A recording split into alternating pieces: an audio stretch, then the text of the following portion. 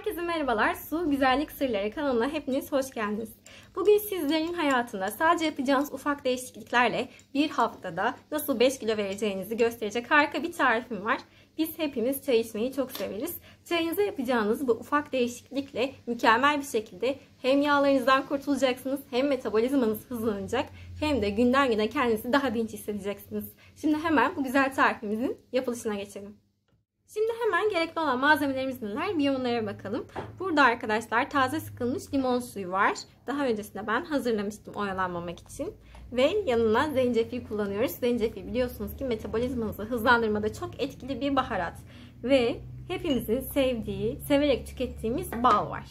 Ve benim burada demleyip hazırlamış olduğum çayım var. Şimdi hemen yapılışına geçelim. Öncelikle şöyle bir kaşık kadar balımı karıştırma kabımın içerisine alıyorum. Evet şöyle bir kaşık kadar balımı ben aldım. Balımın üzerine hemen şöyle tepeleme bir kaşık kadar zencefil tozundan ilave ediyorum. Ve arkadaşlar bunun üzerine yaklaşık 3 kaşık kadar limon suyumdan ilave ediyorum.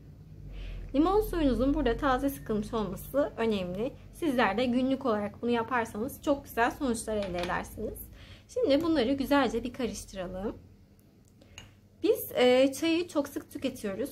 Aslında arkadaşlar çayınızın içerisinde çoğunuz şeker kullanıyor bunu biliyorum. O yüzden şöyle güzel bir, e, yapmış olduğumuz karışımı kullanırsanız çok hızlı bir şekilde kilo vermenizi sağlayacak. Sizleri hem metabolizmanızı hızlandıracak hem de arkadaşlar gerçekten rafine şekerden uzaklaştıracak harika bir e, tarif oluyor bu. Çayınızı sadece bu şekilde içerek bile çok etkili bir şekilde zayıflayabilirsiniz. Peki bu güzel tarifimizi nasıl kullanacağız?